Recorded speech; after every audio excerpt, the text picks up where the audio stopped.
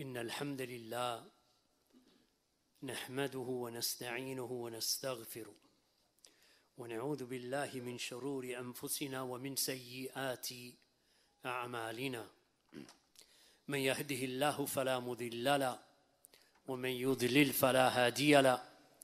وأشهد أن لا إله إلا الله وحده لا شريك له وأشهد أن محمدا عبده ورسوله. أما بعد فإن أصدق الحديث كتاب الله وخير الهدي هدي محمد صلى الله عليه وسلم وشر الأمور محدثاتها وكل محدثة بدعة وكل بدعة ضلالة وكل ضلالة في النار. أما بعد My brothers and sisters, it is important that Muslims in this time, and especially in this time, that we learn those means and those asbab that will enable us to remain steadfast and firm upon this deen. And that is because the Muslims in this time, and especially the Shabab, especially the youth, they are faced with tribulations and trials from every direction. Trials that cause them to doubt the Sunnah or doubt the truth of Islam, even. Trials and tribulations and doubts that cause them to doubt the nobility and the excellence and the virtue of the Sahaba radiallahu anhum. Or those trials and those fitan and that tribulation that leads them to sins, committing major sins, the kaba'ir, and acts of disobedience to Allah and to His Messenger sallallahu alaihi wasallam. Or those trials that lead them to despair at the mercy of Allah subhanahu wa ta'ala, such that you find many of the shabab, even amongst the Muslims, that they lose hope in life and they lose hope in living. And that's why you find, especially in the lands of the West, in those lands where Allah subhanahu wa ta'ala is not truly worshipped, or, it is, or he is worshipped by a few, that you find in these lands despair, anxiety, depression, suicide, self harming. Because these are from the trials that are present in the lands and in the times that we live in. These trials have become even more widespread in this age of social media. People who are taught to chase the dunya, people who are taught to please the crowd. So, this age is truly an age of the strangers, the age of the ghuraba. And they are few in number, yet they are firm and they are steadfast, even as everything around them begins to crumble and fall apart, that they remain steadfast as mountains. It is reported from Abu Huraira radiyallahu anhu that Allah's Messenger sallallahu alayhi wasallam said, Bada al Islamu ghariba wa sayaudu ghariba bada'a fatuba lil ghuraba. Islam began as something strange and it shall return just as it began as something strange. So, glad tidings. Tuba, as occurs in a hadith of Allah's Messenger sallallahu alayhi wasallam, is a tree in Jannah. So he said, Tuba lil ghuraba. It is a tree in Jannah whose trunk is made out of gold. Many of the scholars they have said that this Tuba is a bushra, is a glad tiding from the Messenger of Allah sallallahu alayhi wasallam. And it is indicative of Jannah, meaning that Jannah, glad tidings, and a tree in Jannah is for those who are the strangers that establish the deen of Allah subhanahu wa ta'ala. Tuba lil ghuraba He said, glad tidings of paradise are for the strangers. Imam al-Tirmidhi has a different version of the hadith, of the hadith which finishes فطوبى للغرباء الذين يصلحون ما أفسد الناس من بعد من سنتي Glad tidings of Jannah, of Tuba, is for the strangers. فطوبى للغرباء So this Tuba or these glad tidings are for the strangers. الذين يصلحون ما أفسد الناس Those who rectify what the people have corrupted after me from my sunnah. These are the people who rectify, they correct, they don't fall apart, they don't doubt, they don't follow their desires, nor do they follow the desires of others. They are the ones who rectify what the people have corrupted from the sunnah of Allah's Messenger, from guidance. That which He sallallahu alayhi wasallam left His ummah upon. So, among the means that will bring about this firmness, this thabat, that each and every one of us seeks and desires, because that is what will keep us steadfast in our graves, steadfast, Yom al Qiyamah,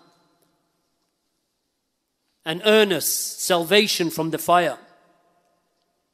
From those affairs, there are six.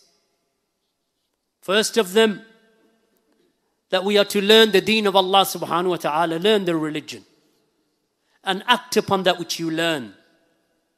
And that is to study the book of Allah, the sunnah of the Prophet sallallahu alaihi wasallam and his seerah, his biography, his life. And to understand the way of the Sahaba radiallahu anhum and those who followed them from the Sahaba, ridwanullahi alayhim. Because they are the jama'ah the Jama'ah are the Sahaba and those who followed them, and then those who followed them.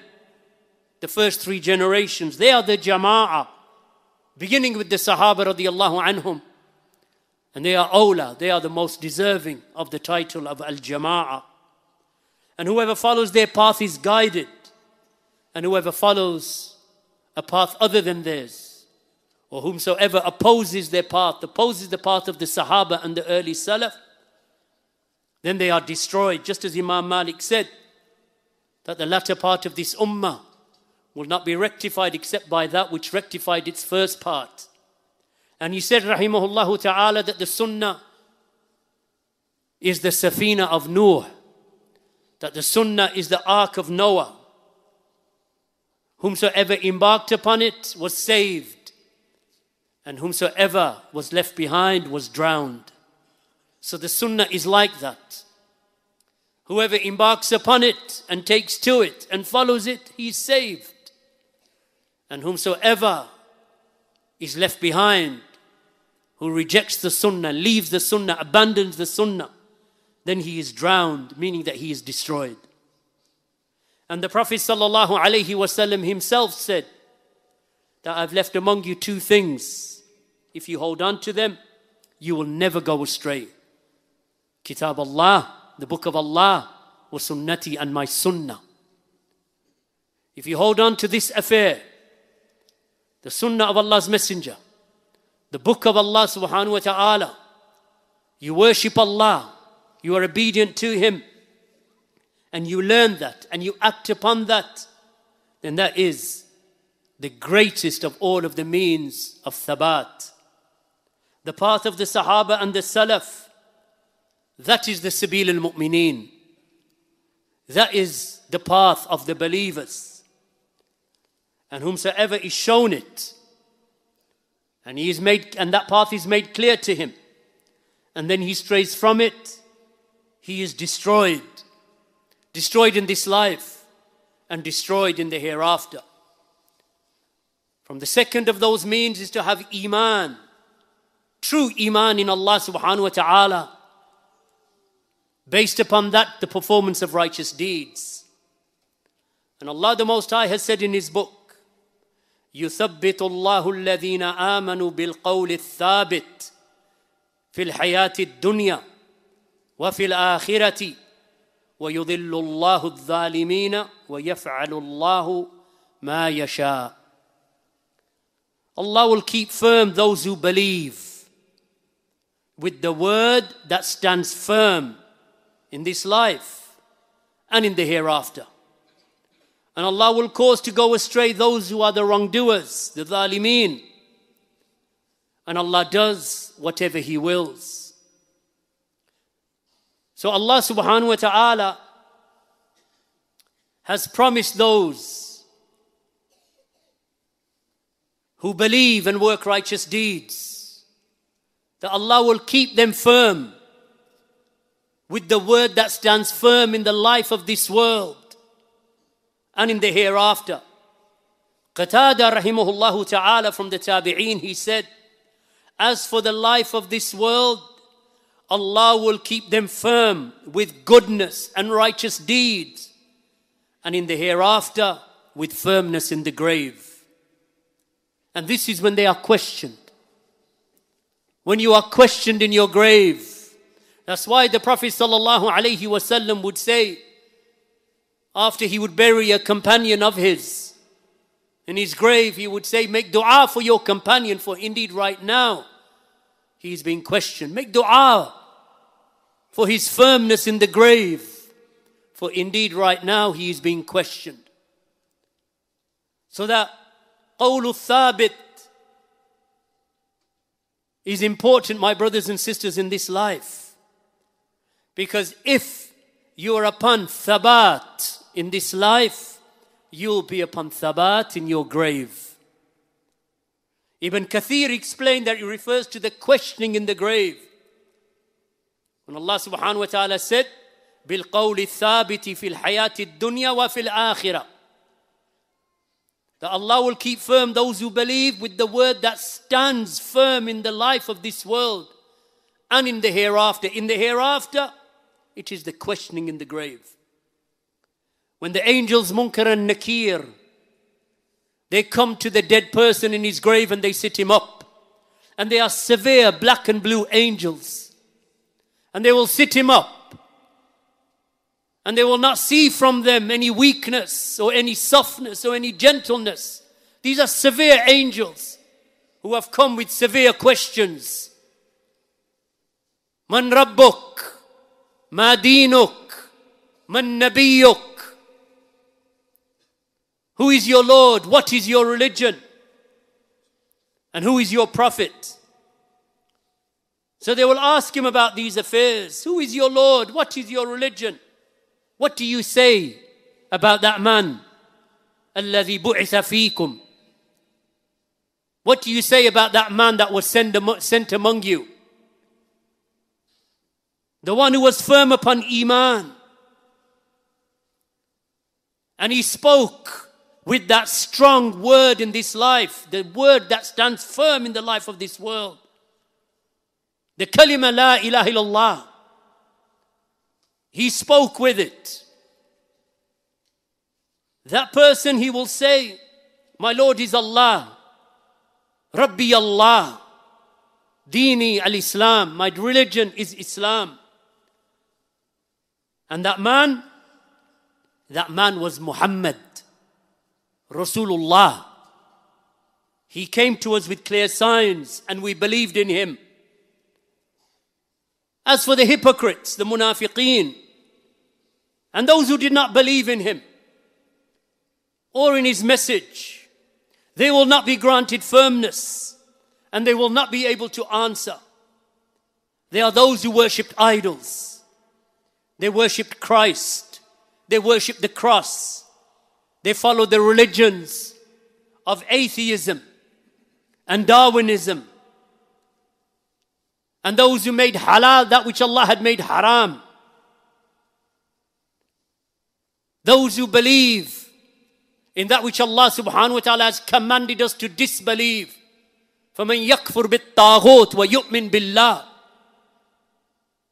that which Allah has commanded, the one who disbelieves in the Taghut, we have been commanded to disbelieve in the false deities of Darwinism, atheism, Hinduism, Buddhism, the worship of the cross, and other than that, and the religion of the Jews, We have been commanded to disbelieve in all of those. وَيُؤْمِن billah, And then to believe in Allah. And that which Allah subhanahu wa ta'ala sent His Messenger sallallahu alayhi wasallam with. So the Prophet sallallahu alayhi wasallam was constant in performing righteous deeds. And he would encourage his companions with the same, even if those deeds were small but consistent. So the Sahaba radiallahu anhum, they would pray their five daily prayers without fail. They would fast in the month of Ramadan and they would fast the optional fasts. And sometimes they would leave them off. They would be good to their wives and good to their children. They would be kind to their parents and serve them in their old age. They would give charity to the poor. They would make zikr of Allah and seek forgiveness many times a day. They would pray in the night, even if it was for a small portion of the night, a few rak'ahs. They would be good to their neighbors. They would recite the book of Allah. They would smile in the face of a believer. They would seek the company of the pious and so on. These are some of the righteous deeds that each and every one of us can do throughout the day to keep us firm upon the deen of Allah subhanahu wa ta'ala. The third of those affairs is keeping away from sins, from those acts of disobedience, those ma'asi and dhunub, through the company of the righteous from amongst the Salafiyin keep in the company of Ahlul Sunnah, Ahlul Sunnah wal Hadith, the people of Salafiyah and the Da'wah to Salafiyah. In the company of the righteous, you'll be busy with good and you will not be diverted. So, shaitan prefers the lone believer. When the believer is isolated from the rest of the believers, then the shaitan takes that opportunity just like the lone sheep that is taken by the wolf.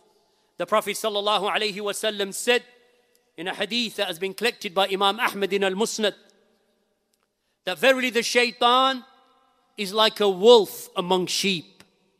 He seizes the lone sheep that wanders and strays from the flock. So beware of wandering into the mountain passes. Instead, cling to the jama'ah and cling to the community. أو كما قال عليه الصلاة والسلام Qatada bin Di'ama from the Tabi'een who died in the year 118 after the, hij- after the Hijrah, he said, he said, by Allah, we have not seen a man except that he keeps companionship with people who are like him and resemble him. So keep company with the righteous from the servants of Allah so you can be with them or you can be like them. Al A'mash, also from the Tabi'een, who died in 148 after the Hijrah, he said that the Salaf would not ask anything about a person beyond three questions who he walks with, who he enters upon, and who among the people does he take as his friends. Companionship is tremendously important, my brothers and sisters. Even when you travel, you travel with good companions. When you sit and eat, you sit and eat with good companions. Because they will remind you of Allah. If you are with the sinners, then you will take the habits of the sinners. If you are alone, away from the jama'ah, away from the community of believers, then the wolf will come and he is the shaitan. He is the wolf amongst the people. The Prophet said, if there are three people in a village or three people in the open desert who do not establish the prayer among themselves, meaning in jama'ah, there are three of them. And that's all there is. Yet even three cannot gather together to just to establish the prayer. Then the shaitan has gained mastery over them. So then he said, فَعَلَيْكَ بِالْجَمَاعَةِ So upon you is to cling to the jama'ah. For only, for the wolf only eats the lone sheep. The sheep that straddles away, the sheep that veers away from the flock, that's the one that the wolf devours. The hadith reported by Abu Dawood and declared Hassan by Sheikh Al Albani. Likewise, my brothers and sisters, you should be resolute in keeping away from that which Allah has prohibited. You want thabat, you want firmness, you want steadfastness. Then keep away from that which Allah has prohibited, that which Allah has made haram. And nurture your wives and your children and your families upon that. Abu Dhar radiallahu anhu said that Allah's Messenger sallallahu alayhi wasallam advised me with nine matters. He said, firstly, do not commit shirk with Allah, even if you are cut to, be, cut to pieces and burned alive. Secondly, never deliberately abandon the prayers that have been obligated. Whoever abandons them deliberately has lost the protection of Allah. Thirdly, do not drink alcohol. Do not take intoxicants. And that could be wine. It could be alcoholic drinks. It could be smoking hashish or marijuana. It could be taking drugs. Anything that intoxicates, as the Prophet ﷺ said, is, is khamar. And khamar is prohibited. He said, Do not drink alcohol because it is the key to every evil. Fourthly, obey your parents. And if they command you to spend upon them from your worldly possessions, then spend upon them. Fifthly, do not contend with the rulers, even if you think you are more worthy. Sixthly, do not flee from the battlefield, even if you are to be killed and your companions abandon you. Even if they flee, you don't flee. Stand and stay firm for the deen of Allah subhanahu wa ta'ala. Seventhly, spend from your wealth upon your family. Eighthly, do not cease to discipline them. And ninthly, instill the fear of Allah in your families the mighty and majestic, the fear of Allah, the mighty and majestic into your families. This hadith reported by Al Bukhari in Al Adab al Mufrad, and Shaykh Al Albani declared it to be Hassan. So these are just three of the means that will bring about thabat in this life. And you can see the importance of each and every one of them. And there are many more that can be mentioned. Inshallah, in the next part of this khutbah, maybe I can summarize the final three out of the many that could be, that could be spoken about. Barakallahu feekum. May Allah subhanahu wa ta'ala give us thabat in this life and in the hereafter. Walhamdulillahi rabbil alameen. Wa sallallahu ala nabiyyina Muhammad wa ala alihi wa sahbihi ajma'een. Come forward, brothers and sisters. Come forward, brothers, as much as you are able, so that the brothers at the back can pray and sit down. Alhamdulillahi rabbil alameen. العالمين والصلاه والسلام على اشرف المرسلين وعلى اله وصحبه اجمعين اما بعد From those affairs, my brothers and sisters, that will give us thabat, give us firmness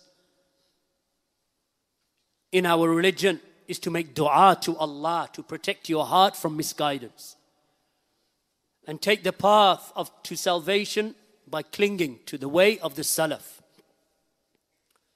This is the way of the rasikhun fil ilm.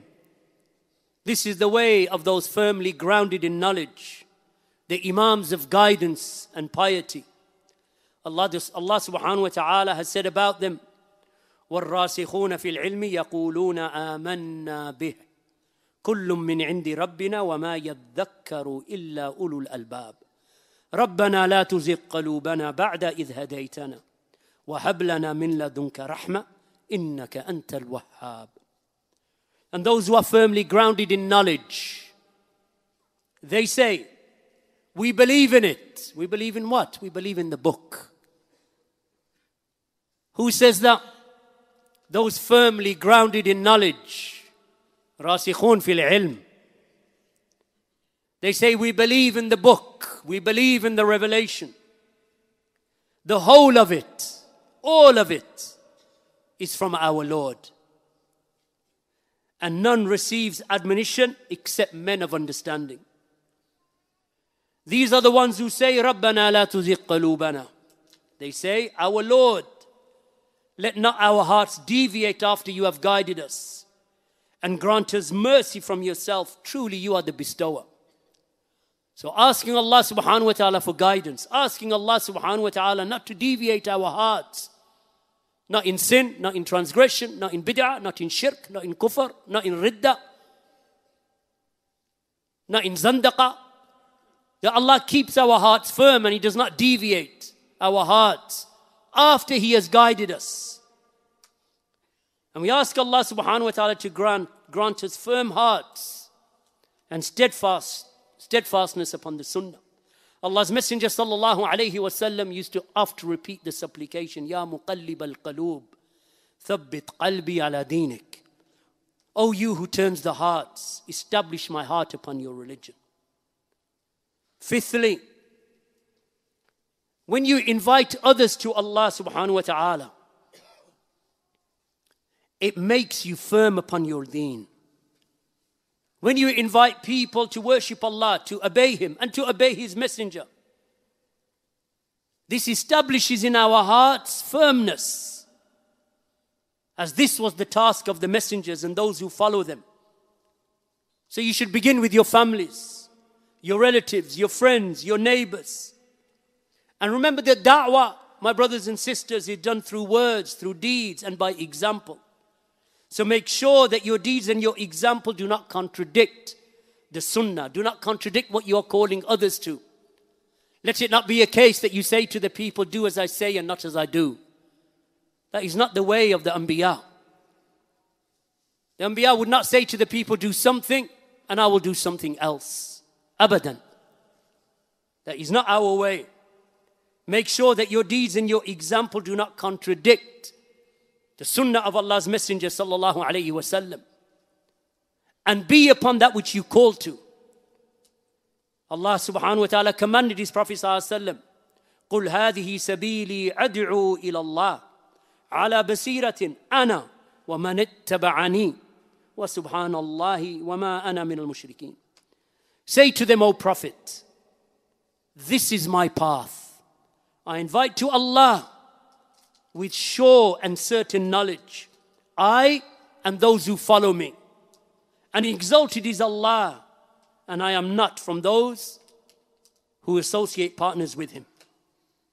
So, my brothers and sisters, when a believer shows concern for the guidance of the people, Allah rewards him by increasing him in guidance and firmness, thabat upon the truth.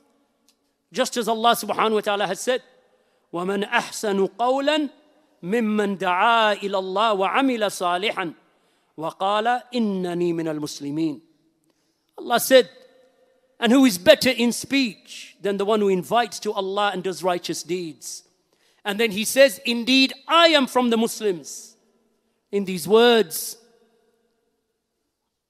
of the preacher who calls to Allah there is an expression of firmness upon the religion what does he say وقال إنني من المسلمين Indeed, I am from the Muslims. So there is firmness and there is, a, there is an emphatic statement from the caller to Allah that he's calling the people to Allah and he's telling them that I am from those who have submitted to Allah. He is not hesitant. He is not hesitant. He is not shy and he does not conceal the truth. So Allah gives the callers to the book and to the sunnah upon the understanding of the Sahaba steadfastness that is not found in other than them from the people. The final affair that I'll finish with today, the sixth affair, is being firm requires sabr. In times of trial, hardship, affliction, when desires are presented, when lusts are presented, when people offer you wealth, offer you women, offer you status, when affliction befalls, sabr is required in all of these situations. When you are suffering with pain, when you are turned away, when you are exiled or boycotted or abandoned and your family are killed. And the people want to burn you and cut you to pieces because of your tawheed. Sabr. And it is from the greatest of the means of attaining a thabat from Allah subhanahu wa ta'ala. يا أيها الذين آمنوا استعينوا بالصبر والصلاة إن الله مع الصابرين الله أكبر Oh you who believe seek the help of Allah through patience and through prayer Indeed Allah is with the patient ones and likewise the Prophet wasallam said in a hadith collected by Imam al-Bukhari Whoever remains patient Allah will bestow patience upon him and he who is satisfied with, with what he has, Allah will make himself sufficient. And there is no gift better and vaster than sabr, than having patience, than being granted patience. And it is narrated from Abu Umayyah, who said that I came to Abu Tha'laba al-Khushani radiallahu anhu and said to him, What do you say about this ayah? He said, Which ayah? So I recited to him the words of Allah يا أيها الذين آمنوا عليكم أنفسكم لا يضركم من ضل إذا اهتديتم O you who believe, upon you is to be concerned about yourselves. as for those who go astray, they do not harm you as long as you are guided. Abu Tha'laba said, to Abu Umayyah, By Allah, you have asked me about something that I know of in this matter. For I asked Allah's Messenger wasallam regarding this very same ayah. And he said, sallallahu alayhi wasallam, rather, you must enjoin one another to do what is good and forbid one another from what is evil. But when you see miserliness taking place and being obeyed, and desires being followed, and worldly de- desires being given preference, everyone being amazed with his own opinion, then take care of yourself and leave alone what the people are doing. Because ahead of you are days which require endurance and patience, in which Endurance will be like holding on to hot coals. And whomsoever acts correctly upon the truth in that time will have the reward of 50 men from among you who does that deed. So we ask, Ya Rasulullah, they will get 50 of their reward or 50 of our reward? The Prophet ﷺ said they will get 50 of their reward. The hadith reported by Abu Dawood. So, in times of hardship, in times of ghurba, in str- of strangeness, when people are going astray to the right and to the left, whoever holds on to the deen in that time is like holding on to hot coals. And for him, there is 50 times the reward. The Prophet ﷺ would remind his companions to be patient and that Jannah is the reward of the one who holds fast to the deen of Allah and is patient upon the harms that come to him, regardless of how severe they are. Allah's Messenger وسلم, passed by Yasir and his son Ammar and the mother of Ammar, Sumayya. While they were suffering at the hands of the kuffar in Mecca. And they were suffering because they said, Our Lord is Allah. So when the Prophet ﷺ would pass them by and he would see how they were being tortured and suffering, eventually Sumayya radiallahu anha, she was killed at the hands of Abu Jahl with a spear that was forced into her abdomen. So when the Prophet ﷺ used to pass by this noble family, he used to say, Sabran ala Yasir, فَإِنَّ مَوْعِدَكُمْ الْجَنَّةِ be patient, O family of Yasir.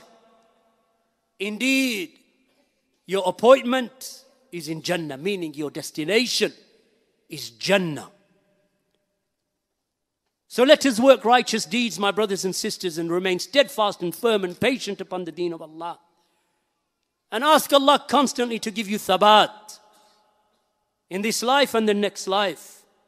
May Allah subhanahu wa ta'ala keep us, keep us and our families and our communities and the Muslims firm and steadfast upon, uh, steadfast upon the deen of Allah subhanahu wa ta'ala and guide them to that which is best.